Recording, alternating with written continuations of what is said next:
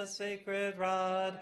I am the sun, I am the sun, a blazing Son of God. I am the sun, I am the sun. I hold the sacred rod. I am the sun, I am the sun, a blazing Son of God. So, do you feel different? Yes. Did you drink in those words and that essence and that light as you sang? Yes. So, what is the feeling of being a son? What is the feeling of it? Love. Love, Freedom. freedom, Magnetic. magnetic, Brightness. brightness, warmth, Magnanimous. magnanimous, joy,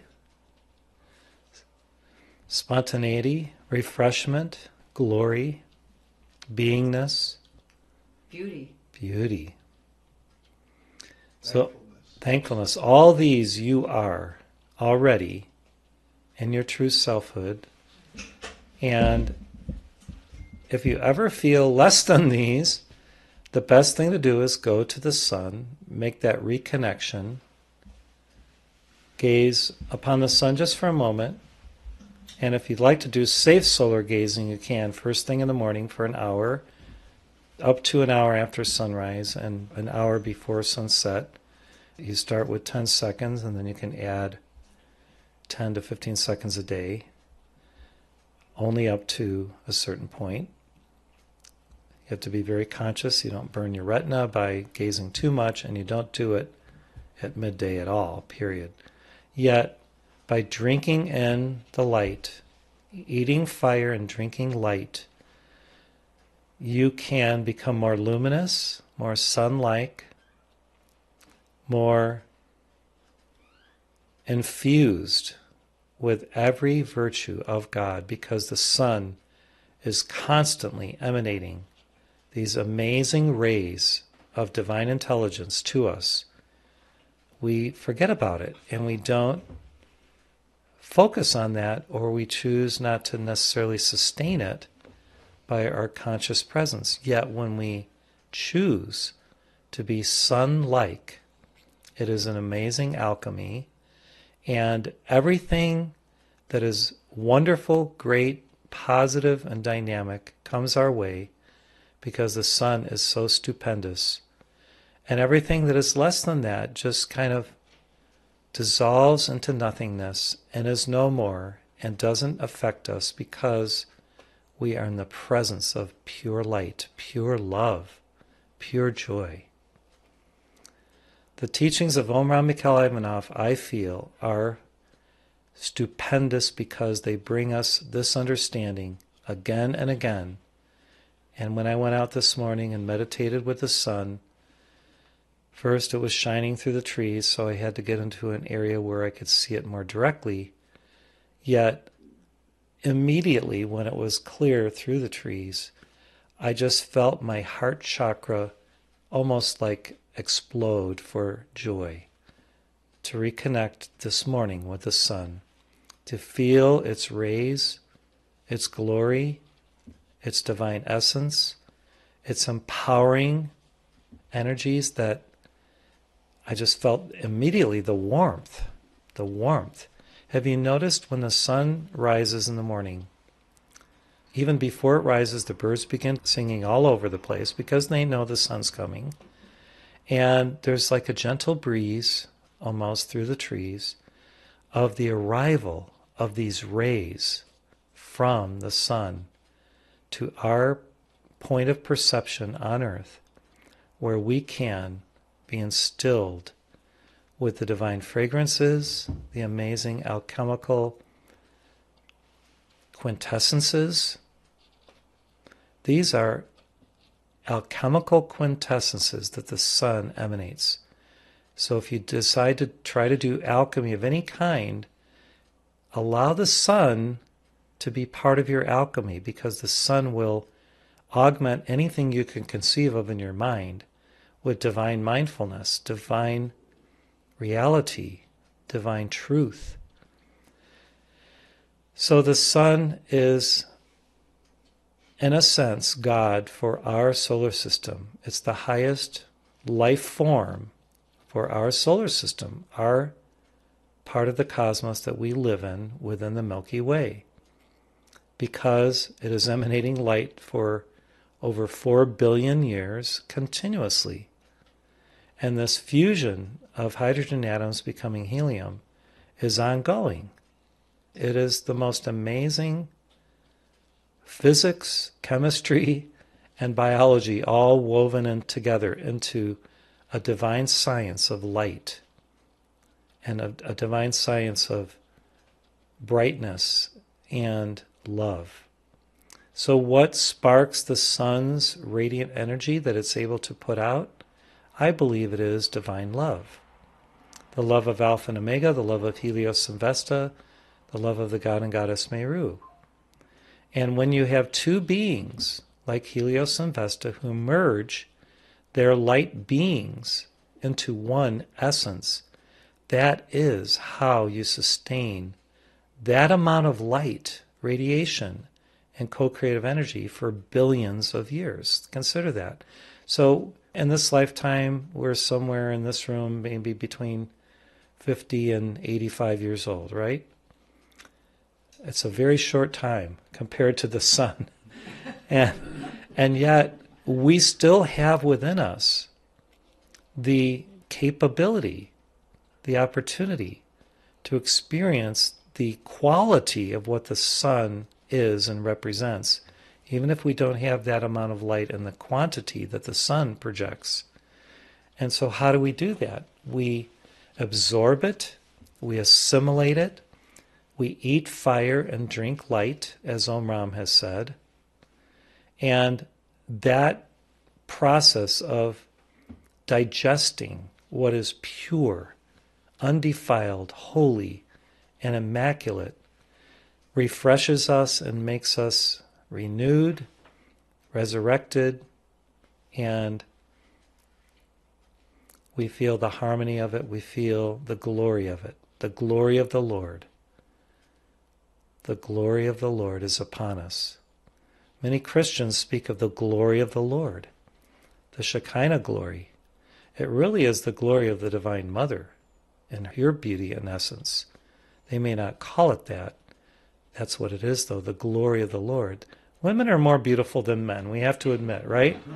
Okay, so the Divine Mother is so beautiful when you see her or when you understand her nature that you're just in bliss and, and ecstasy contemplating who the Divine Mother is. And today, Magda's here with us as Jesus' twin flame to share with us on the feminine Christic light, what it means to be a feminine Christ, or to emanate those feminine aspects of the Christ consciousness.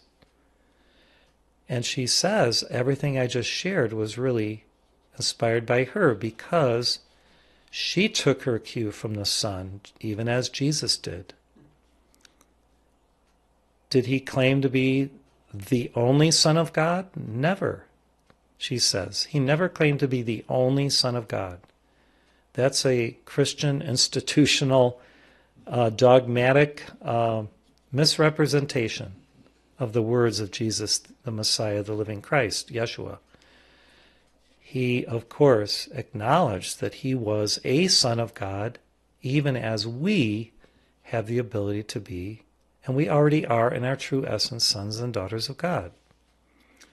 So, why has everything been twisted?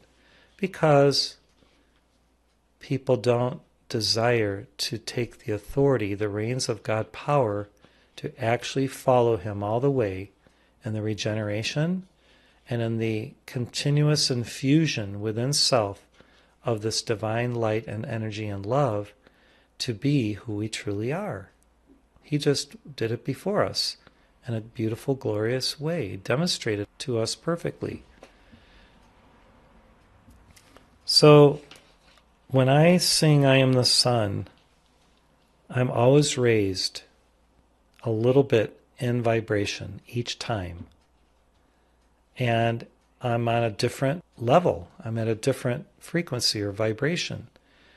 And that's part of what we do as initiates. We walk the path, the initiatic path of light, toward our ascension, toward our full God self realization. And we have to imbibe, assimilate, and utilize the next higher frequency that's available to us. What's right, kind of beyond our reach, almost beyond our reach, but not quite, right? So we, we stretch for it and we yearn for it in a true, beautiful way, not with raucous human desire, but with, with a true inner divine desire. So that why? We can be better people, we can be better initiates, we can serve more, we can grace people's lives more with love, divine intent, our creativity. When I contemplate what the feminine aspects of the Christ consciousness are, I see sensitivity, responsiveness, glory, grace, harmony, impartiality, beauty, creativity, generosity, fragrance, joy, lucidity, stillness, fortune, and many other virtues. Uh, would anybody else like to share a virtue that they think of or that they feel or sense is part of the feminine aspect of the Christ consciousness? Kindness. Kindness, Patience. patience, Comfort. comfort. Nurturance. What's that? Nurturance. Nurture, nurturing. Yeah, nurturing. Sweetness. Okay, Sweet compassion. Sorry. What else? Sweetness. Sweetness, Nobility. nobility, Wisdom. wisdom. Great. Forgiving. Forgiveness, forgiving, Mercy. mercy. All these are important for the co creation of the golden crystal age of Aquarius.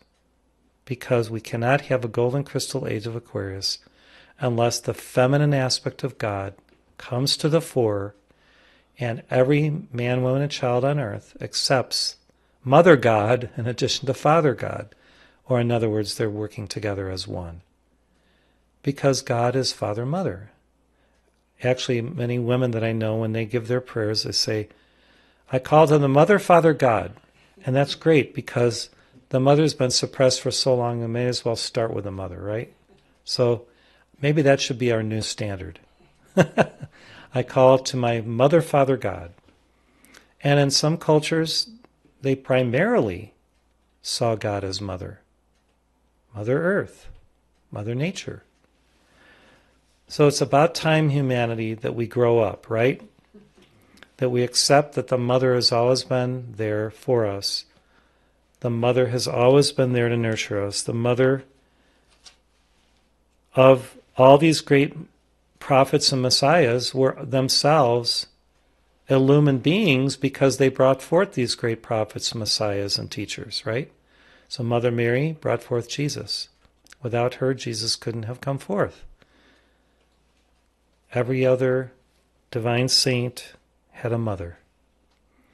And we celebrate mothers. Even in today's not Mother's Day, we celebrate the mother aspect of the Christ because it's important that we actually focus on this, think about it, meditate upon it, contemplate it, and then in our daily lives live as if we are already fully self realized, feminine, and masculine Christs, Christed beings. If you will actually take this to heart and make it one of your spiritual goals to live as a Christed being, which really is living as a crystal being, because the Christ is also very crystalline, then you will make tremendous progress because everything will come naturally to you without a lot of undue effort or strain or toil because the Christ accesses everything that is essential by the light, the light of the Christ.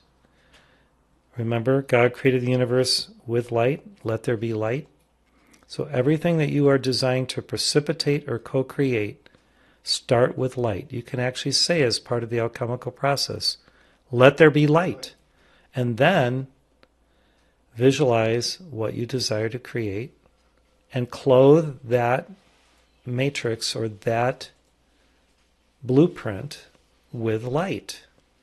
Fill in everything within the outline of what you desire righteously with light because the light will energize it, activate it, it will get things moving, it will magnetically draw divine substance into that blueprint that then will and must come to realization because you are using divine laws. You are using divine wisdom to enter into that alchemical process with love. What people don't know about Magda, she says, is that she was an alchemist par excellence, just as Jesus was. She knew, as we know now, all the uses of essential oils. She knew the plants that they came from, or the you know the trees or whatever. She was a master alchemist in mixing certain fragrances and oils to provide healing for all different types of maladies, for boosting the immune system, which was very important and is really important today.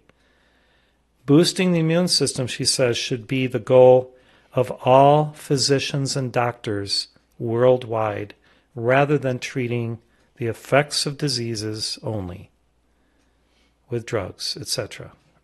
Boosting the immune system. So, how do we do that? We start with light.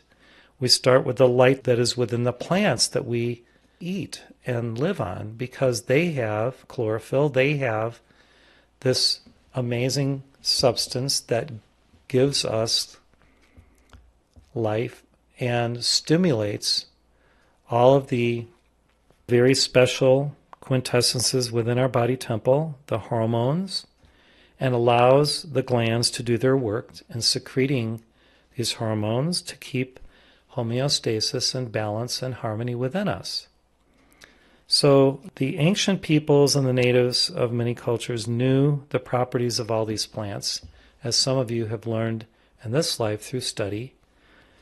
And Magda knew every plant in the area that she lived, its properties, its essence.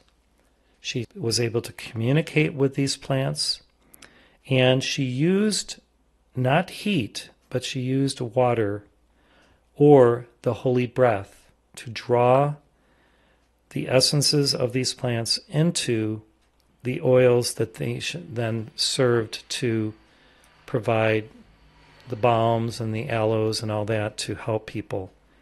And remember, Joseph of Arimathea also knew this because he was commissioned to take the body of Jesus from the cross and to basically support that body temple until the resurrection. And even if you believe what some people believe that he actually didn't technically die, that's okay. Whether you believe that he died or not, because there are traditions that say that he conquered death. In other words, it looked like he died, even though he maintained the spirit within his being and then did manifest his light body in the resurrection. So it doesn't really matter whether he physically died or not.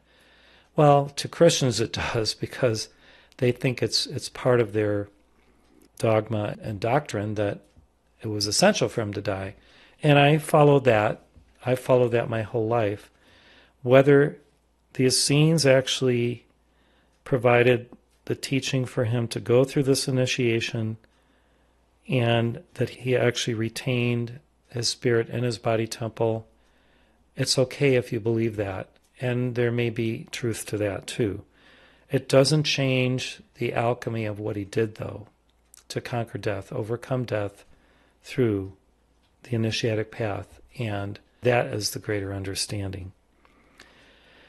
So, why is Magda sharing this? Because it is a time of troubles now, and we require some of these oils, we require these quintessences to further our spiritual development in the five crystal rays, which we used to call the secret rays, which are the points of the stigmata that Jesus was pierced as he was nailed to the cross and, and the side with the spear of Longinus, and that many of the saints have had, like Padre Pio and, and others. So we are commissioned to develop these very fine quintessences of deeper understandings of the nature of life and of the path of initiation so that we can impart to others this holy wisdom for today to help people to deal with the crises in their lives, to heal both their psyche, their minds, and their physical temples, and to move forward the evolution of mankind. And we are all part of this. We're all commissioned to do various things as part of the, the Great Awakening and the Great Enlightenment. So, first we have to have the Great Awakening, and then eventually we have the Great Enlightenment, and then the full Great Self Realization, and then the Great Ascension of, of all life. So, it's a process, it's a beautiful thing. Magda is instilling now to each one in this room on the etheric plane a particular quintessence that she prepared for you uniquely today, for today. And this is being absorbed by your own Christ consciousness, going deep within even your physical body to stimulate the hormones and the the subtle energies within you as they move through your body temple, even through the glands and through the secretions of those glands, and also in the lymphatic system, which is the lymphatic system is very, very important to keep us pure and keep toxins and viruses and bacteria out of our system. Even though we still have them within us, it keeps the harmful ones from affecting us. So, in effect, what she's doing today is giving us an immune system boost. First, spiritually, and then it can cycle down into the physical plane. And she has the authority to do this based on the fact that she was and is a healer. And some people think that she was embodied as Aimee Semple McPherson. And if you study her life, she loved Jesus, of course, and she had hundreds and hundreds, if not thousands, of services, and many, many thousands or tens of thousands of people were healed during these services. And that is a fact. You can research it. Yogananda thought that she re embodied as this woman who got the stigmata. And I, I'm trying to remember her name. Uh, Teresa Neumann. And if you study Yogananda's teaching, he said that Teresa Neumann had been Magda, Mary Magdalene. So it's possible that she was both, because great, great, great souls can actually access and almost like split their light bodies into more than one temple. It has been done before. So maybe both are true. And I'm not going to dispute either one because I see the validity of both. Um, whatever you believe, you can believe. What's more important than belief is direct communion with that saint, that master, in this case, Lady Master Magda. So if you can meditate now, just for a moment, one minute in silence, and f- accept these this specific quintessence that she has created for you uniquely you can commune with her and discern specifically where it is moving through you and helping you. Maybe you're having trouble with something, or maybe you you desire to overcome a bad habit or a problem or your, a relationship issue. Let this quintessence go deep, deep inside and do its perfect work. So we'll just be silent for a minute and do, do some deep, slow breathing.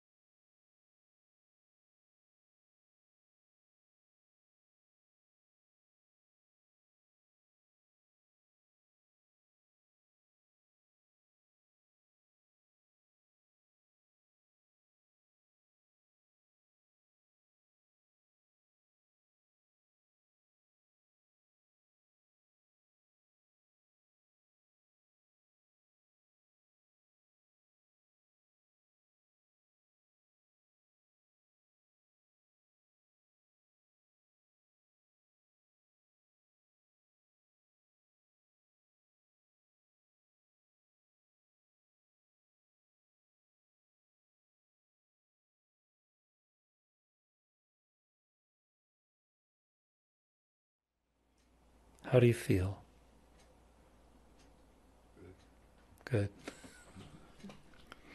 Smooth. What was that? Smooth. Smooth? Great. Do you feel lace like? Lace like? Kind of? No? Aren't you, isn't your last name Lacey? Yeah. Well, yeah, that, that was a joke. Okay. Are you messing with messing with you. I haven't seen you in a while. I just had to make you laugh. Okay. In our meditation practice, those of you who have been meditators for many years and decades, you know how important the subtle worlds are that you enter in consciousness when you reach that stillness, that still point of being, where you are out of your body or beyond your body, and you're moving in other worlds and dimensions and even phases of existence where you actually touch your Christ consciousness and you access it, you feed off of that, and then in your meditation practice, you're boosted by the subtle light energies of spirit, which are so transcendent, joyous, ecstatic, that all you really desire to do is stay there as long as you can, right? You really don't desire to come back and embroil yourself in duality and get involved in this or that thing that is like brings you into the earth earthy. You'd rather kind of remain in this very high frequency.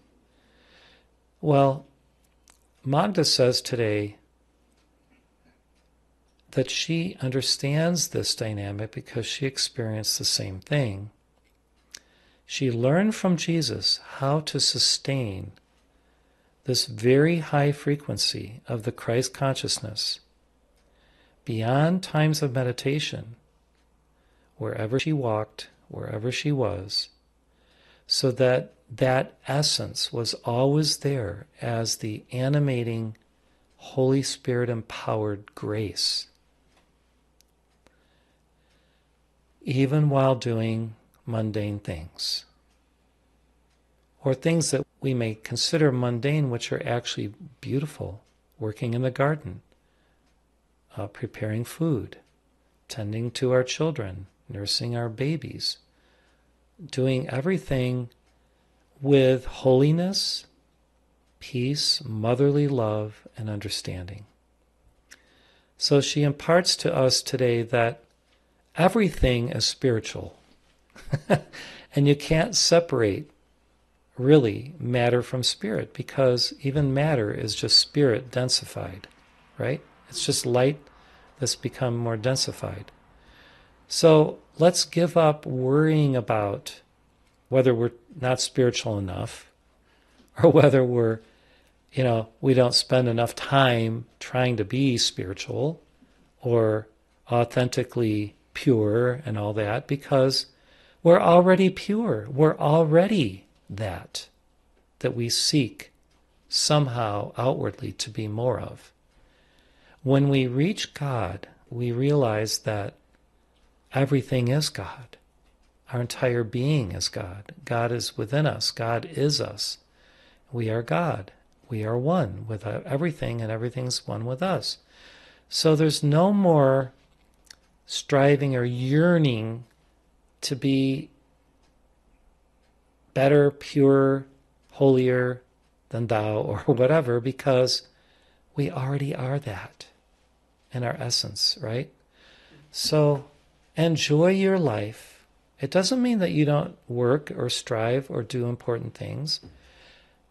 Everything is overshined by and infused with this beautiful grace of the feminine Christ light and consciousness, so that your life becomes magical, becomes fulfilled, becomes authentically and sincerely, genuinely wonderful. And everywhere you walk, your Christ consciousness proceeds and emanates and blesses people. And you walk in that light, adorned with that glory, always sustained by it, the truth of it, the happiness of it, the intensity of it at times, and the non intensity of it at times.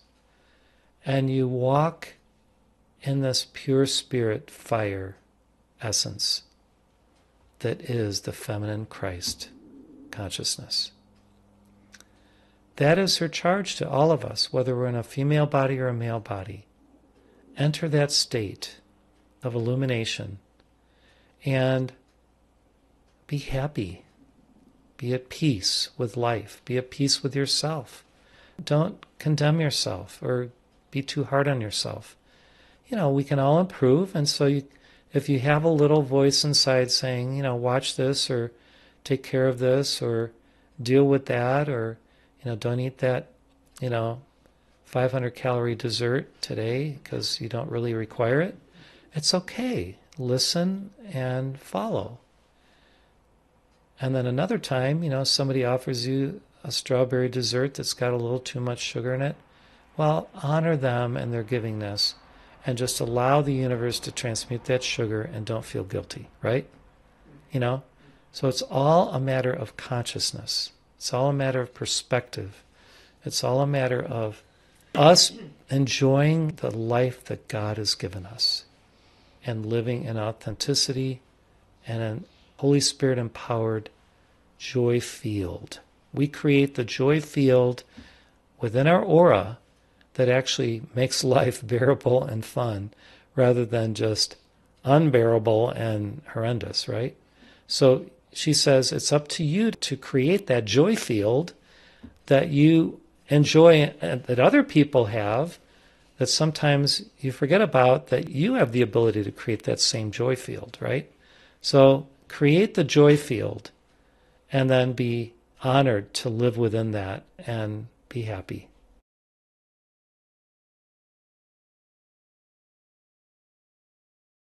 When I contemplate this image that David Kyle created of Magda, I love it. and he told me when he was working on this that he actually took an image of Aimee Semple McPherson and he basically used her face as the image of Magda. And then he added the dress and everything else. You can see in this image her compassion, her care and concern for every soul. Just as Jesus had the same compassion and concern for every soul, she had the same as Jesus, yet from a more feminine perspective. And the compassion the concern, the care was phenomenal. And people in her presence could feel the same Christic presence they felt in Jesus' presence. Of course, some were jealous of that, but they've probably been forgiven and hopefully moved on since then. What I feel in Magda's presence whenever she comes is this amazing, powerful feminine energy. It's still clothed in femininity and beauty and harmony and peace, yet behind that is a transcendent and powerful mother energy that will never say die. It's always there for us. It's always ready and available to stimulate us to be who we truly are in a conscious and very uninhibited way, yet it's disarming. I don't know if I like that term disarming. It doesn't sound like conscious language, but you know what I mean. In a disarming way, in other words, it makes us comfortable. You feel the comfort of Magda, and you don't feel irritation at all. You feel like you're just on a wonderful little blown up raft on calm waters in the sun in the summer, and you're enjoying life. You feel the comfort and the joy of that. So, does anybody have any questions for Lady Master Magda today that we can all be edified by her wisdom? I know this is kind of spontaneous, but yes, go ahead, Robert. How can we learn to love and follow Jesus in his footsteps as he would have us do? So, Robert says, How can we learn to love and to follow Jesus in his footsteps as he would have us do, or as she would have us do, or he would? As she would. as she would have us do. The first thing is to befriend him in an authentic way and, in effect, make him your own. She did this. She made him her own. And of course, it wasn't magnetically perverse. It's just that she was attracted to him and he was attracted to her, but it was a divine attraction. So we can take heart in a divine type of attraction where we make that the master our own. In other words, we imbibe his consciousness, we choose to communicate with him, speak to him all the time, you know, be willing to learn. So part of it is a willingness and kind of a surrender to what he will share because it will always edify us and help us, yet sometimes we're reticent to put into practice what he may say or encourage us to do. So it's befriending him and making him your own, not in an exclusive way, yet in a very personal and profound way, and then being willing to hear from him and listen and then follow. So following him is not just about following him around, it's actually being a true disciple. They say followers of Jesus or disciples of Jesus. So when you follow someone who's a true teacher, you lean on their words, you lean on their light body to boost you when you're down. You know, remember that song? I don't know when it came out in the 60s or 70s, Lean on Me, you know lean on me. I mean, but do it in a spiritual way with Jesus where you you kind of spiritually succumb to his joy field by bracing for it and actually being willing to step into it and then allow it to do its alchemical work on you. You know, because it's always going to challenge you in a little bit yet it's also going to bless you and bathe you and help you in the process. So, being willing to walk the path of the initiate, which is the true follower, the true disciple is the initiate. What is different about a disciple versus an initiate? Well, an initiate starts to take initiative. A disciple is disciplined, right? follows the law of the whatever the words of the master are. But then the master starts to entrust more responsibility to you, and then you can initiate things. You can say, Master, I think we should do this together today. Or, you know, I've been meditating on this and I feel like I'm being called to pray for this situation or person, or to go visit this person who's sick, or maybe they're having marital problems or relationship issues. And I just like to listen to them and maybe transmute some of the energies of their the volatility of what they're dealing with, and I'll, I'll, help them to process it so they can move on or they become the master of what's going on. She says to truly listen to the master. So, listening, deep listening, involves a caring energy that's authentically responsive to what is being said as you're deeply listening and you're taking in the words as they're being spoken. Now, this can be very personal for you. No one else knows about it. You can communicate with Jesus directly and receive his instruction and allow it to work its work on you and within you so that it will transform you because the living word is transformational and Christ is the word. The word of God is the Christ. It's the Logos. So when Jesus speaks words of wisdom, they're meant to be imbibed and then assimilated, or we work with them to transform ourselves and to improve ourselves and to grow. So you have to be willing to do the work, like some people say. Um, there's a feminine lady that teaches, and she calls it the work. Do you know who I'm speaking of? Yeah, Katie. Yeah, Katie begins with a B. Byron, Byron Katie. Byron Katie. She calls it the work, right? So you have to be willing to do the work. And to, it's self transformational. It's a cosmic imperative that if you're an initiate, you are a worker. You're a light worker, not just a light bearer. You're a light worker. You work with the light. Some people bear the light, and that's good. You have to work with it and allow the alchemical aspects of the light to work on you first, and then you can work with them to help others. So, first, the transformation has to be within. Then she says also, live in the joy of the Lord. Because the joy is the jeweled energy of optimism and youthfulness. J O Y. The jeweled optimism of youthfulness that Jesus carried with him wherever he was. He always loved the young people, the children.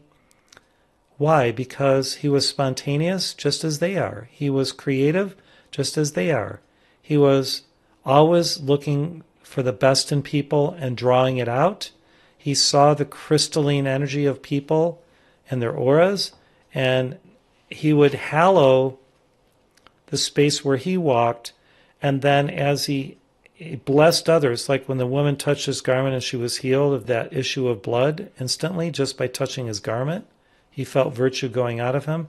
Well, he brought that virtue everywhere and he disseminated it universally without preferential treatment for some over others, right? You know, if you're not giving me tithes, I'm I'm gonna withhold. Okay, we got to watch that, right? So, so the preferences are about humility and the virtues. So the only preferential treatment he offered was that when people were authentic and he knew that they could listen to, follow, obey, and then be guided upward and onward, he worked with them more than people who he knew were there just for stimulation, a word of praise, or, you know, impressing their ego. And he could see through people. I mean, he could see th- their motive. Their motive just rang through their aura. So he knew who was authentic. And he preferred to work with the people that were sincere and authentic, even if they were very had a lot of problems or were troubled or whatever, because he knew that they had within them what was necessary to make the changes that they required to be just true disciples and initiates. If you're not willing to to do the work or transform, then you're not going to make the progress. So it's the willingness, she says, to be not pummeled, so to speak, but to be go through the fire of the transformational change. Because there will be fire, there will be heat, because the friction and the heat is what burns off the stuff that we don't require anymore. And we all know that. I mean, sometimes if we have an argument with our spouse or our loved one, there's some friction there. Yet if we allow ourselves to go through a little bit of the friction and then we're willing to bend and be pliant and moldable, then we can have an amazing transformation even with some friction because the friction's there to draw out of us things that we have to let go of or to, you know, have burned off, right? Our hardness, our hardness of heart, our lack of forgiveness, our lack of kindness, lack of responsibility, lack of love, you know, all those lacks. So, what else, beloved Magda? She, to receive the best benefits of Jesus, befriend also the Holy Spirit. Because remember, he said when he left, the Comforter will come and bring all these things to your remembrance. So the Comforter comes, the Holy Spirit, and is very wise. And if Jesus is off dealing with something else and you're not quite feeling him, maybe the Holy Spirit will come first and comfort you so you can be raised up a little bit to then be able to feel his energy again. At least temporarily, sometimes we lose a little bit and we're off kilter and we just have to just regroup, get still, do some spiritual practice, sing a song, do a chant, do a bhajan, go to a kirtan session, feel the energy, and then when you're in that sacred space again, then ask the Lord, you know, for guidance or for for an assignment, for work to do, and he'll give it to you. If you authentically ask for work to do, Jesus will give it to you to do. May not always be easy, yet it'll be something that you can do, that you have the wherewithal to do it. How many people have asked Jesus for an assignment in the last week? Here, anybody? Nobody, right? So we forget about these things. So ask the Lord for assignments. You know, I like when I go into town every day. I go into Livingston and get the mail, or, you know, check the mail and do various things. You know, take the garbage out or whatever, and I have you know my little list.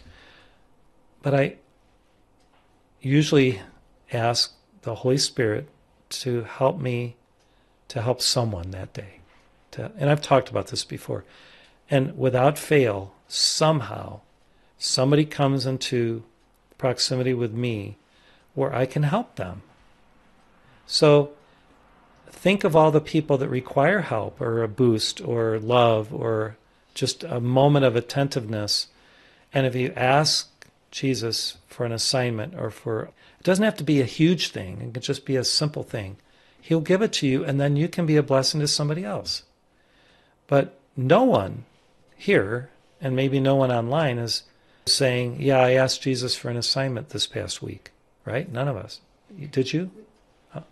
Okay. My, my assignment is so big that I don't even think to ask for More. For more, Uh, Okay. it's like I'm constantly working toward the thing. Okay, you're always working. But what you just said is is needs to happen daily. On top of that, Right. And thank you. And it can just be it can be something that's so profound for one person. A word, a glance, a smile, a hug or an embrace or a touch or you know, I feel what you're going through. You know, or somebody trips or they fall. You know, I pick things up for people when they, you know, I mean, we I think all of us do this. When we see a need, we just act and then we fulfill whatever has to happen in that moment to be a representative of the Christ. You're a representative of the Christ. Male, female, doesn't matter. The Christ is impersonal. So that's one of the keys she said is imagine if every heart friend in our movement, in our community, every day from now, for 30 days, you ask Jesus for an assignment or for a little, a, a little one, not a life, something that's going to take millions, you know, thousands of dollars or anything like that. Imagine how we as a community could transform the people around us or situations or whatever on behalf of Jesus. Because Magda said this one thing today that none of us are doing, right? Now, maybe you're doing it with another master. Maybe you have your master that you're really close to, and it's not Jesus. That's okay. You can work with that master because Jesus is one with them anyway in heaven, in a sense. Yet, since the question was asked and she's here today, we're doing it through the lens of Jesus. So, I have to take this to heart personally too. You know, I mean, I'm not excused from this, this uh, teaching. So everything that comes through me, it's like, mm, yeah, I needed that. Uh, okay, I got to listen again and hear it and take notes and then act right. Otherwise, I'm a hypocrite because you know I could speak for ten thousand years, but if I'm not doing it, if I'm not doing the work, I'm not growing, and then I'm not able to give you more from what the masters are, are sharing. Okay, any other questions for Lady Master Magda? Kathleen. I have one. Um, since one of your lifetimes, maybe the last was uh, Aimee Semple McPherson, who had the nine gifts of the Holy Spirit, and you're speaking of the Holy Spirit now. Um, how does this um, affect our own lives? How do we know if we have one of the gifts? Can we ask for them? Do we have to be careful if we get them, etc.? Well, you kind of answered part of the questions by the question. How the whole Heart Center community and movement has been about empowering people from the beginning to have the gifts of the Holy Spirit and use them. I mean, that prayer 30.008, when I composed that, I had been praying for the nine gifts for decades, every day. And you forget that you, when you ask so much, that eventually you get what you ask for if you're tenacious enough in asking. So then when the gift comes and you, you're startled that you've got it now, don't be startled. You know, you asked, you asked for it. So then the question is, what are you going to do with it? So when you get the gifts of the Holy Spirit, and you will know when you receive them because you will feel the light, you will feel the energy of the Holy Spirit pouring through you, you have to then use it to serve, to bless, to help. All those verbs that we had in this rosary, there's a reason why we said all those saving, teaching, loving, clearing, healing, serving, freeing, blessing, sealing, and raising. So, did you know that I was using these words for probably 10 years before this was created in my personal rosary in the mornings? You know, and so I would walk the streets like when I was with Marcia Covington, who just passed on on Tuesday, this past Tuesday, stayed at her house.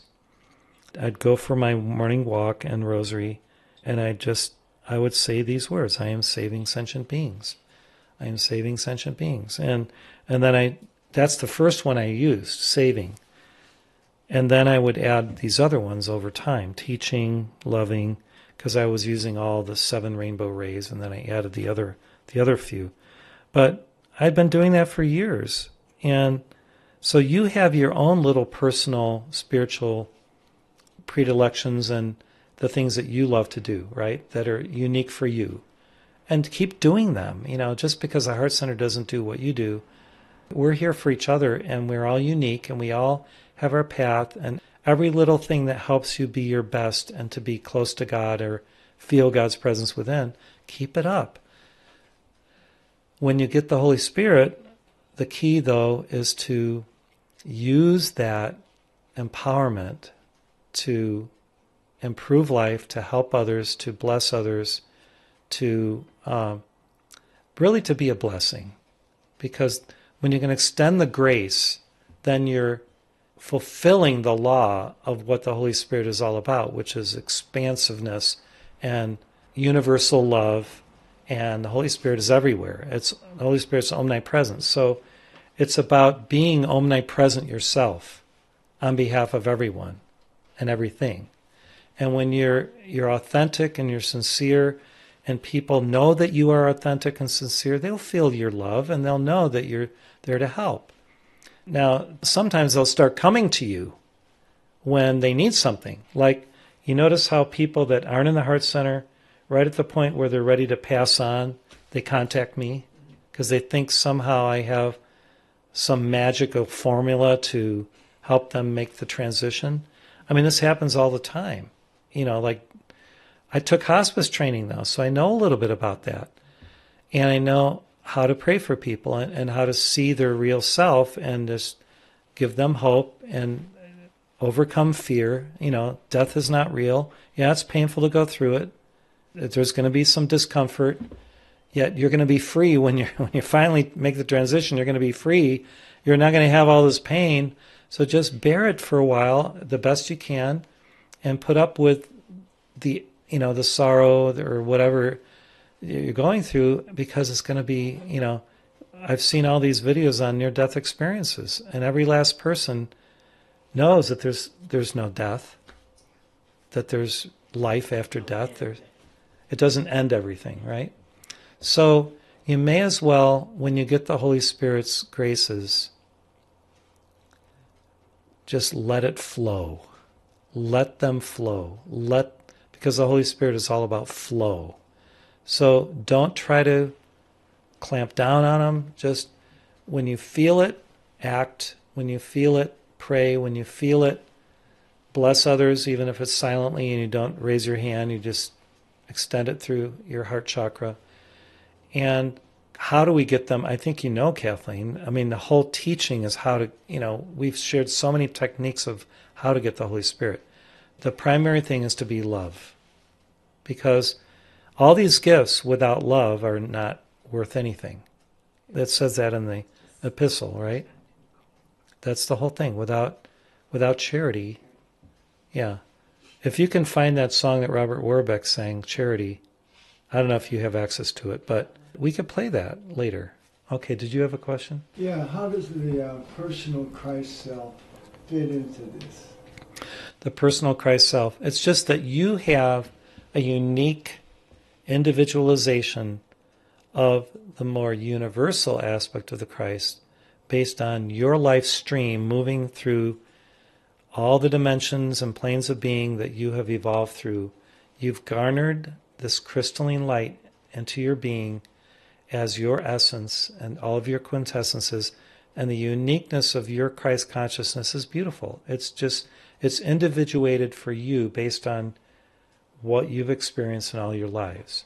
And it's beautiful. So when I see you as a Christ, I just see Master Po, you know, from another life, whether you were that was your name or not, I see that. And I see you as a, a very wise teacher, a humble teacher. It's like in the Kung Fu TV programs.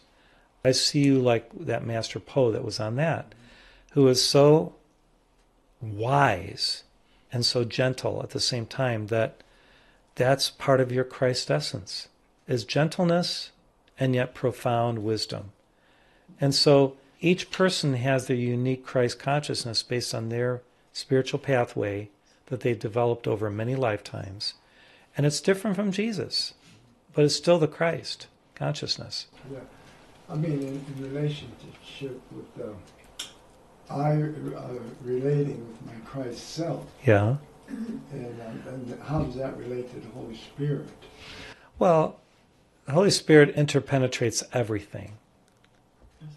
Everything. The Holy Spirit interpenetrates all life. The Holy Spirit is the breath of God. And the breath of God is what gives life to everything that, that has life, right? So without breathing, you have no life. The personal Christ, how does that relate to the Holy Spirit? Um, the personal Christ consciousness, you access that through the Holy Spirit's grace and presence, in my opinion. Because I, I give, I mean, uh, my communion with the Holy Spirit, I mean, Right. my Christ self, yeah. and uh, Don't see yourself different or separate from your Christ self. Just, you are your Christ self. Okay? Don't feel like it's separate from you. right. So when you say my Christ self, just say I, and that is the Christ in you. So what were you going to say? I what? My I, I, Ron the Christ, commune with the Holy Spirit, and I manifest my Christ consciousness, my light, every day because I'm a unique Son of God. So at a certain point, there's no separation any longer. You don't see yourself separate from God or separate from your Christ self.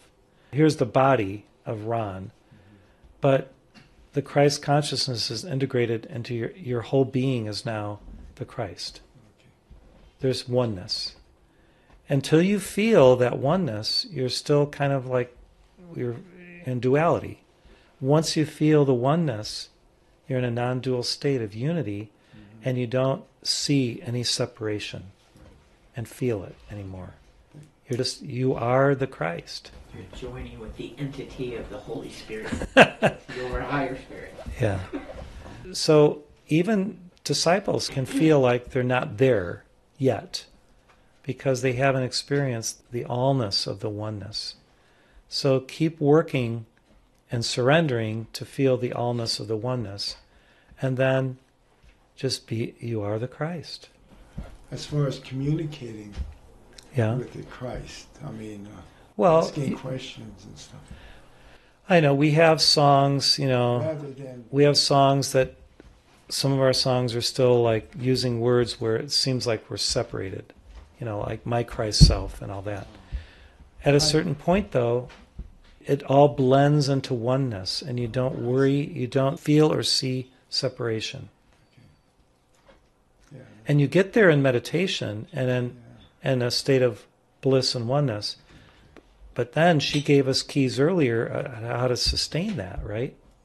I mean, she she gave us the keys today to being in bliss, but then doing the practical things in our life. And there is no separation anymore then, because your whole being is just the Christ. Okay, thank you. Bozena asked. Bojana, okay. Bozena asked in the chat, "What would you have me say?" What would you have me say? I think she's asking Magda. What would What would you have me say? Uh, whatever you say, say with love. Whatever you. It's not about what you say, it's how you say it and with what what is behind it or what animates it, which is love and wisdom. So what you say let the words be clothed with light. Let the emphasis always be full of joy, the emphasis within what you say. So, what you say is clothed in light, the emphasis is infused with joy, and then the meaning and the truth behind what you say will be self evident because it will be stimulating and and powerful and dynamic. So when you speak, you know, so it's not just about what, you know, the, the Holy Spirit will guide you as to what to say. Okay? You just have to be attentive to how you say it and with what spirit you say it and the energy behind that empowers it. And then whatever you say will be blessed and full of grace. You know, so we say over and over, Hail Mary, full of grace. I mean, we've witnessed the fact that Mary has grace. Well, she worked on that for lifetimes, you know, lifetimes to develop that state of grace in her being. So, how much are we willing to work so that we are full of grace, or we are full of joy, or we are full of compassion or love. If we're willing to work so that we are full of it in a good way, that in a good way, uh, then we can laugh about it, right, and have fun. So I love the question though, because inherent in the question is it's not about just the what, it's how and forthwith how do we say it. When we are sincere in how we speak, people will feel the veracity of it, the validity of it, the truth of it, the power of it. And so, if you watch many of the, the highest spiritual teachers who ever teach, they're not just mouthing words like I heard this preacher on the radio, a Christian preacher, just like quoting scripture, quoting scripture. I mean, yeah, he knew his scripture, but he was rambling so fast that it's like he just wanted to get it all in in a sermon. I didn't feel the Holy Spirit's empowering energies behind what he was trying to convey because it was more about the speed by which he was saying it and trying to cram it into the audience. Usually, spiritual teachers will pause, and in those pauses, there will be an empowerment. In those pauses, the Holy Spirit can come through and just infuse the whole audience with this majesty of the grace of God. Jesus taught like that. When he taught, it was with authority, yet he had those pauses where he could see angels or masters going in and working with a spirit or a soul and transforming them. And sometimes, as he was speaking, he would tears would come down his cheeks because with his clairvoyance he could see how the soul was already being transformed by the the light that was conveyed through him and his Christ consciousness and he was witnessing the transformation as it was happening and tears would streak down his, his cheeks. And people would think he was sad but he was very happy. So isn't that interesting?